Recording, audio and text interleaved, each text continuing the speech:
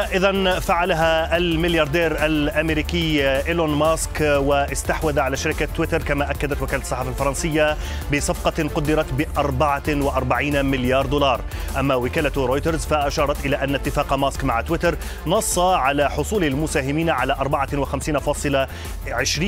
دولارا للسهم الواحد. شركة تويتر أصدرت بيانا قالت فيه إن ماسك بات متحكما بشكل كامل في الشركة التي باتت شركة خاصة فيما حقق سهم تويتر مكاسب بنحو 6% بعد الإعلان عن صفقة إيلون ماسك. قبل ذلك علقت بورصة نيويورك تداول أسهم تويتر قائلة إنها بانتظار إعلان مرتقب. وعقب هذا الإعلان أصدر إيلون ماسك بيانا أكد فيه أنه يريد جعل تويتر أفضل من أي وقت مضى مشيرا إلى أنه سيعمل على زيادة الثقة في موقع تويتر. قبل هذا الإعلان نشر ماسك تغريدة على تويتر طمأن فيها منتقديه وقال أنهم يستطيعون البقاء في الموقع ونشر تغريداتهم عبره. وأضاف ماسك في تغريدته أن حرية التعبير تعني أن منتقديه يستطيعون البقاء في الموقع.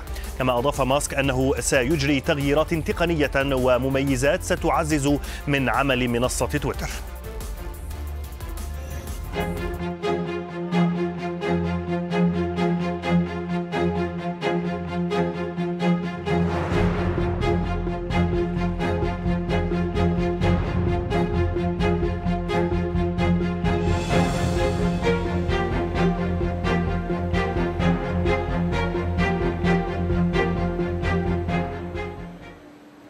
ومشاهدينا في آخر الأخبار العاجلة المتعلقة باستحواذ إيلون ماسك على تويتر البيت الأبيض عبر عن قلقه من هذا الاستحواذ وكذلك من إمكانية عودة ترامب إلى هذه المنصة التي استبعد منها في عقاب اقتحام أنصاره لمبنى الكابيتول بعد خسارته الانتخابات الرئاسية أمام جو بايدن. معنا الآن حسين طود مراسل العربية مباشرة من واشنطن. حسين أهلا بك معنا. المزيد حول موقف البيت الأبيض وكذلك عن صفقة الاستحواذ على تويتر.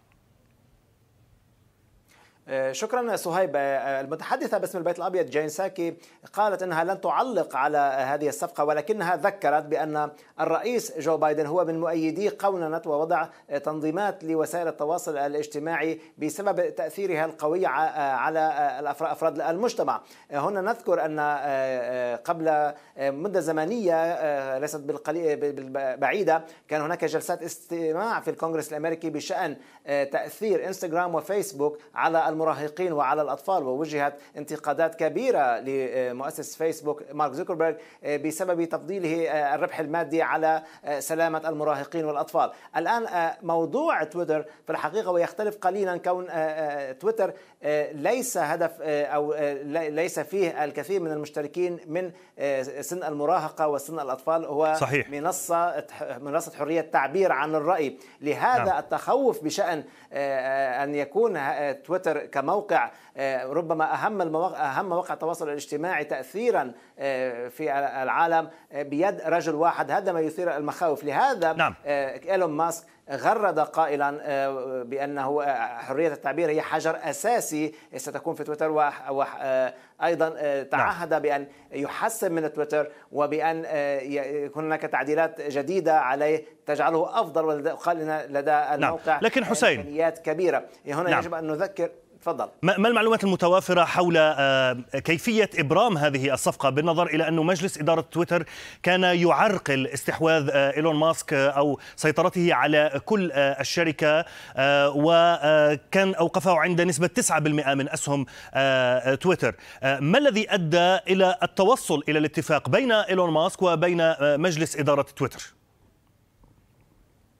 بالفعل صهيب كان هناك أخذ ورد بين مجلس الإدارة وبين إيلون ماسك وكما تفضلت كان هناك حديث عن نسبة معينة وكان هناك دعوات أيضا إلى عدم تمكين إيلون ماسك من السيطرة على على تويتر بشكل كامل كما قلنا تخوفا من أن تكون من أن يكون هذا المنبر بيد رجل واحد ولكن نعم. المزيد من التفاصيل بطبيعة الحال ستتكشف قريبا نعم. حول ما جرى وحول المحفزات نعم. التي ربما أعطاها أو حسين بها اعذرني فقط أستوقفك للحظة. هناك يعني هناك أخبار اقتصادية مهمة هذه الليلة كما نتابع على شاشة العربية الآن مشاهدينا هذا الخبر العاجل. وكالة فيتش للتصنيف الائتماني تصنف اذا الشركة النفطية السعودية الكبيرة أرامكو. اذا عند تصنيف A وكذلك بتصنيف مستقر إيجابي. اذا وكالة فيتش للتصنيف الائتماني مشاهدينا تؤكد تصنيفها للعملاق النفطي أرامكو عند اي وتعدل اذا من نظرتها المستقبلية للشركة من مستقرة إلى إيجابية. هذا تطور كذلك لافت فيما يتعلق بالعملاق النفطي السعودي أرامكو. اذا إعادة تصنيفه اذا عند اي وتغيير النظرة من مستقرة إلى إيجابية. طيب حسين أعود إليك إلى موضوع تويتر كذلك إيلون ماسك غرد وتحدث على تغييرات ينوي أن يقوم بها خاصة فيما يتعلق بادوات هذه المنصة التي كان ينتقدها بشكل كبير جدا. ما هي المعلومات المتوافرة حول ما يتوقع أن يقوم إيلون ماسك بتغييره في تويتر؟ أبرز شيء وهو الأكثر شيء متوقع في الحقيقة أن يغير موضوع تعديل التغريدة بعد بعد التغريد بها، نحن نعرف أن تويتر يعاني من هذه المشكلة كما يقول البعض بأنه إذا غردت إذا كتبت تغريدة وكان هناك خطأ لا يمكن أن تصحح صح. هذا الخطأ. عليك أن تحذف التغريدة كاملة وتعيد كتابتها مرة أخرى. هذا صحيح. رب هناك حديث على أنه سيتم تغيير هذه السياسة. يمكن للمغرد بعدما يبث تغريدته أن يعدل بها إذا كان هناك حاجة لذلك من خلال هذه الخاصية الجديدة التي سيتم وضعها في تويتر. هناك حديث عن ربما أنه سيكون هناك أيضا بعض الأمور المشابهة لفيسبوك أو إنستغرام كان هناك انتقادات في الحقيقة أيضا لموضوع story التي بتنا نشاهدها مؤخرا نعم. على تويتر هي لم تكن موجودة ربما يتم تعديلها أيضا لا نعرف إذا كانت ستحذف بالكامل أو أن سيكون هناك شكل آخر لها ولكن نعرف أنه هناك انتقادات لهذه لهذه الخاصية الجديدة نعم. التي أدخلت على تويتر البعض يقول إن تويتر منصة حرية تعبير منصة تعبير عن الرأي يجب أن لا تشبه فيسبوك أو إنستغرام هي ليست منصة لعرض الصور كما بدأ يقول يقوم البعض. صحيح. لكن هذه كلها طبعا تحليلات حتى الآن نسمعها من نعم. تقنيين لكن حسين followers متابعين على ذكر حرية و... التعبير وتويتر مسألة جدلية كبيرة جدا في أمريكا خاصة بعد استبعاد ترامب بعد أحداث الكابيتول. أي أخبار عن ترامب عن موقفه؟ وإذا كان يؤيد إيلون ماسك؟ وإذا ايلون إيلون ماسك سيعيد بالفعل حساب دونالد ترامب ومؤيديه إلى تويتر؟